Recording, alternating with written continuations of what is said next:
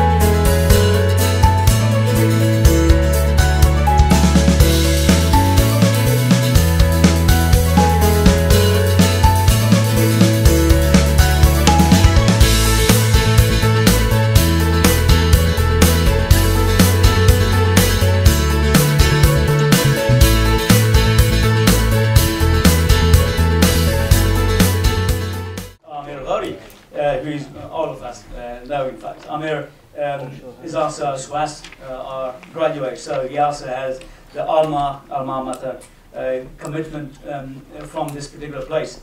Uh, Aamir has been an amazing uh, representative of Pakistan at the international media, CNN, BBC, an amazing journey, in fact, of excellence uh, on the global scale in the, in the UK and also on, on the Pakistani TV uh, ARY has been his uh, recent love um, till actually uh, say uh, so okay, I was gonna say so so the last couple of months but yes we have all positive hopes of seeing uh, Aamir Ghauri back on the screen very soon.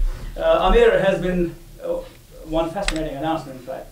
Aamir has been very kind today uh, to actually uh, come along with his book which was written a few years back and just to mention, it was a 50 pounds uh, per copy.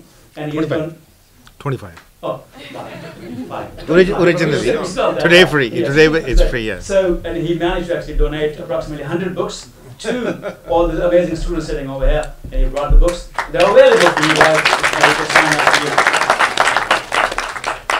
How easy is it being a Pakistani, a British Pakistani, and making it to the top? And how can we all do that? Um, first of all, uh, thank you to WCOP, uh, Kamar Raza Saab. Uh, thank you, uh, RF, and thank you, all of you. Uh, I'll just kind of say a few words about me because um, just to st- uh, start the story rolling, I graduated uh, as a lawyer, trained as a lawyer in Pakistan, tried to practice law, and I say it, you know, with a very sad heart that it, you know, was coming as a very absurd idea to say that you practice law in a lawless country. Uh, Pakistan at that time was uh, coming to uh, a sort of an end. Now, Yes. thank you very much. Uh, I was told that it's working. Uh, it was still Ziaul Haq's time, you know, when I started practicing law. Uh, but after two years, I decided that uh, it was getting difficult for me, you know, uh, to deal with the, the kind of problems we had with our judiciary, judicial system, and society. Uh, and then, uh, being a Lahori, I was a storyteller. So I, you know, left my very cushy job. I was working with a very fashionable law firm. People who I was working with, they are now literally running the government of Pakistan. They are the Attorney General, they are now judges, but I'm happy that I moved to media. Uh, my friends abandoned me, my cousins abandoned me because leaving an 80,000 rupees job in 1988 and starting off at 1200 rupees per month it was madness. I had to basically park my car and buy a motorcycle. and my mother almost abandoned me because she said that you cannot, you know, uh, do the night shifts. Pakistan at night is not safe uh, for, for uh, you know young men, let alone speak about the women. Uh, I qualified to be a civil servant. I passed the exam just to show my family that I can pass that exam. Uh, but I told my father that listen, Dad, I'm not, I'm neither civil nor servant, so I won't survive. So let me go. And he was very kind. He has just moved on a couple of months ago. He has gone back to his creator, but he was my hero. And you know what I learned from him uh, when he used to say that when Pakistan was made, all of us, you know, started off from very, very poor backgrounds. And uh, we set a challenge for ourselves. And when I look back now at my journey, in which I have uh, worked largely with the Jung Group of newspapers, I became their youngest news editor and youngest deputy editor when I was 28. Um, and then I never, uh, it was not my idea to come to England, I was sent here. And somehow I fell in love with the city and never went back. My, I raised a family here, my wife, my kids. And London is now my primary home, with Lahore my first love. Uh, and during my 28 years of profession, I, you know, learned just one thing. If you go on setting challenges for yourself, you survive. Otherwise, it becomes pre-drag. You know, to, and how did I do that? I presented myself to my editors that listen, whenever there's a problem, I would go there. And just to kind of test me, they send me to war zones. In the last 20 years, I've covered four wars in Afghanistan, uh, in Bosnia, in Kosovo, and then lastly in Israel. I was the first Pakistani journalist to land in Israel, you know, uh, run up and down the country, see, because it's a very small country, but it's a very important country in the region. So Jerusalem and Tel Aviv and Ashkelon, Haifa, Nazareth, I saw, you know, how Israel sells its war. You know, I've seen that there was no war. But if you kind of saw the international media, there was war happening in that country. Uh, I've worked with, uh, headed Geo Europe. I worked for BBC for three years. Uh, and then I've recently come back as a sort of an early retirement phase as political editor and a presenter uh, with ARY. Less work and uh, reasonable pay. Uh, and just, you know, one word to all those students who are learning. I, I you've heard, heard a lot, but I'm telling you, you've already made it. You know, all those students who are here, uh, you were studying at you know top universities in this country. Uh, that means your parents have supported you. That means you have done the hard drag, hard bit. You know, getting up early in the morning, six o'clock, seven o'clock, and then going to school and then college and university. So you're already there. So you are not kind of here to learn anything from us. You just basically see that people who have made it, how they've made it. And I'm telling you, I'm sure that all of you are already leaders. So I'm looking at tomorrow's, you know, very successful, you know, young men and women.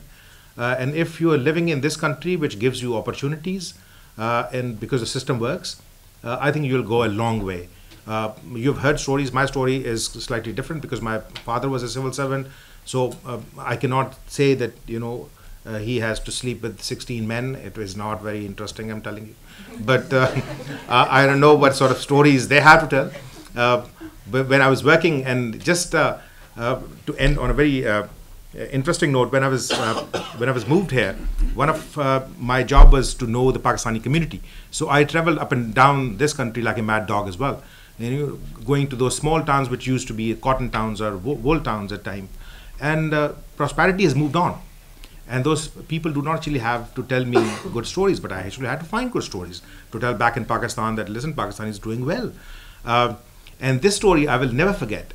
Uh, i went to this man a bearded man uh, you know gray uh, beard and just wanted to hear his story. And through his story he also showed me his uh, photo album.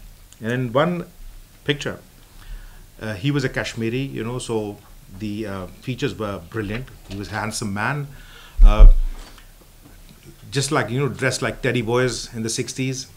Um, and black and white pictures are romantic pictures.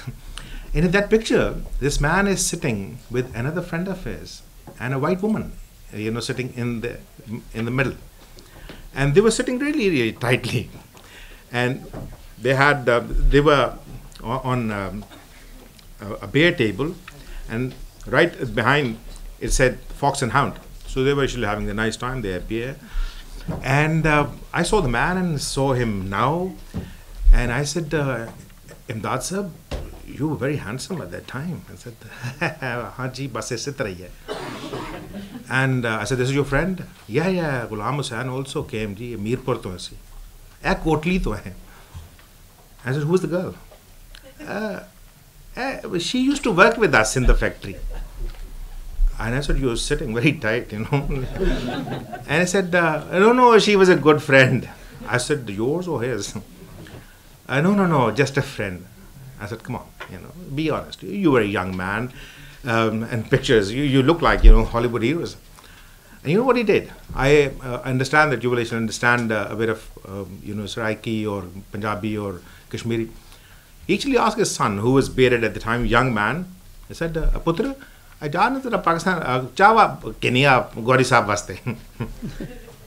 And the moment he, the boy left the room and said, Gauri Sahib, बच्चे सामने नहीं इस तरह की गल्ला करी and I said इमदाद साहब यू हैड योर टाइम है ना look at yourself when you were young and look what you have made your son you know he's a taxi driver bearded he does not actually have a job when I was coming to England, my father said that, listen, Jinnah and Iqbal and Nehru and Gandhi went to that country to study. So you are going to get a degree from SOAS. Uh, and by the way, I turned down Corpus Christi, Oxford, and LSE for SOAS. Uh, I loved this place when I came here because I wanted to study Near and Middle East and modern uh, South Asia. And what I'm telling you that you are my son's age. My son uh, is becoming a doctor. He wants to be a singer. And I said, get a degree and do whatever you want to do. the second son actually wants to be a doctor. Yeah, but I'm telling you, uh, you're not talking to uh, a leader. I'm talking to leaders. I'm telling you, yes. you guys are much more than what we are. And I leave rest to the Q&A session. Thank you very much. And this is question, strictly a question in the context of all these young students who, some of them would probably aspire to become journalists or politicians themselves in the foreseeable future looking at the, the current global situation now where two different ideologies have prevailed, we do see a massive clash between the liberals and the conservatives. And we, we do see, we do experience a, a very polarized environment. So what is your advice to these students? What sort of ideology would they have to follow? How do they go about this? Because considering this is confusion, now we are at the cusp of a very critical juncture where elections in, in France or Holland for that matter can change the entire dynamics of the, the European whole project of European Union may collapse. We, we are seeing all that. So what, what what's your advice for the students? Thank you, Taimur. How many of you are from Pakistan, or are you all? All right. So, uh, no, no, you you'll go back to Pakistan, or you're here? So you're yes, here. Yes, yeah. exactly. That, that's actually wanted to know. Uh, I, I, know that all of you are from Pakistani origin. You know, uh, Mahmood, I think I understand Pakistanis in this country need to be uh, British first. You know, uh, it's not being controversial. They were born here. Uh, you know, Pakistan will be their second country. It will be country of their parents. They need to be part of the society, not part of the community. Because as long as you're part of the community, that means you will stay in a corner. And that is when I was interviewing Tony Blair, and when he was uh, after you know the seven seven, he was cussing the leaders, the so-called leaders of uh, Muslim community. Uh, that, that he felt that he uh, was disappointed by them. And I told him, I said, listen, uh, if I'm a British uh, you know, citizen, if I vote, you are my leader. I said, you might be a bad leader, you might be a good leader. So you took us to war, you were a bad leader. But I'm not passing a judgment here. But when you're actually asking me to consider the MPs from North, MPs from South to be my leader, by that standard, my leader is my MP who I voted for. So I think Pakistanis who are living here, or any Asians, for that matter, they need to be first British and then be proud of their heritage and culture or religion. And as far as you know, your because your question is actually very wide. Know your world. Uh, I have come across here people who do not actually know London. Uh, Pakistanis who are born here. Uh, I've been to Bradford and uh, been to Bolton and Rochdale and Burnley and never been to London. You know, so when you tell them that, listen, I have come from Pakistan, but I have run through this world. I've seen 97 countries so far. You know, uh, so I do not actually need uh, a geography book. These guys actually had better options. So if, for example, uh, your parents have been picking you up and taking you to Pakistan, you could have told them that listen, actually want to know Europe first. You know, it's just around the corner. We're actually going to pick a cheap ticket. We'll go and it's going to see how the history has moved on. Uh, and tomorrow, you know, from Rome, and uh, tomorrow we'll be thinking of China. Uh, learn other people, learn the world, and then be inclusive, as Rui said. Uh, I think Pakistanis, whatever your degrees you're doing, I think you need to get involved in media. Uh, why? Because one, you will see the story, and secondly, you'll be seen. You know, I remember the girls and boys who were picked up by CNN and uh, uh, Washington Post and New York Times, and then here in this country, uh, Asian background. Why? Because we have uh, advantages of languages, we have advantages of cultures, we know the other part of the world where the stories happen. Uh, but unless we are seen, unless we are heard, nobody would believe us that we have a story to tell.